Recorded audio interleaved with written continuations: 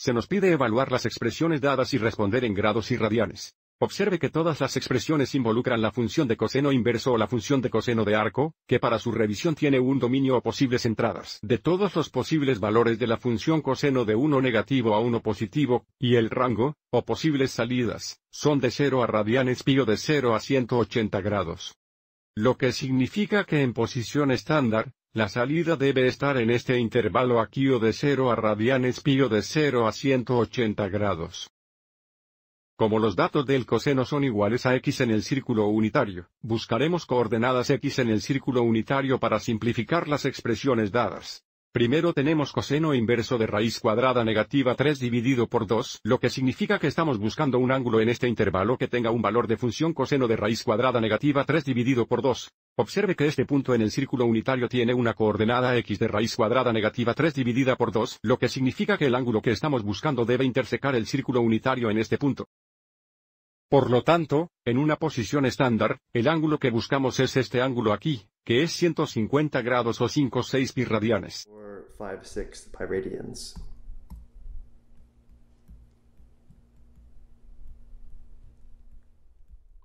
Cuando 150 grados o 5 o 6 pi radianes está en el rango de coseno inverso, y tiene un valor de función coseno de raíz cuadrada negativa 3 dividido por 2. A continuación tenemos coseno inverso de 1 negativo.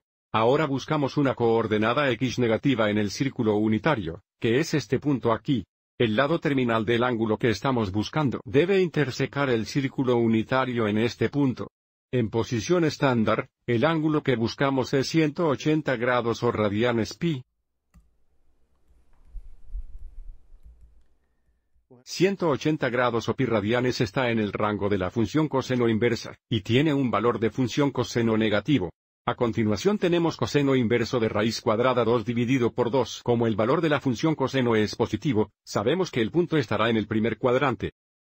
Aquí está el punto que estamos buscando donde la coordenada x es la raíz cuadrada 2 dividida por 2, lo que significa que el lado terminal del ángulo debe intersecar el círculo unitario en este punto. En la posición estándar, el ángulo que buscamos es de 45 grados o en radianes pi sobre 4 radianes o 1 4 pi radianes.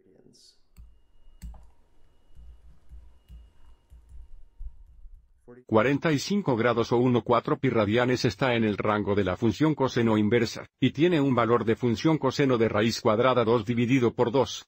Entonces finalmente tenemos coseno inverso de 1 o 2. Aquí está el punto en el círculo unitario donde la coordenada x es positiva 1 o 2.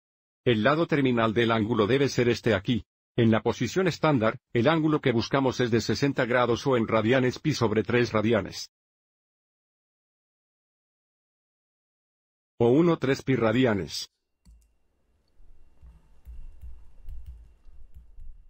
Este es el ángulo en el rango de la función de coseno inverso que tiene un valor de función de coseno de 1,2. Espero que hayas encontrado esto útil.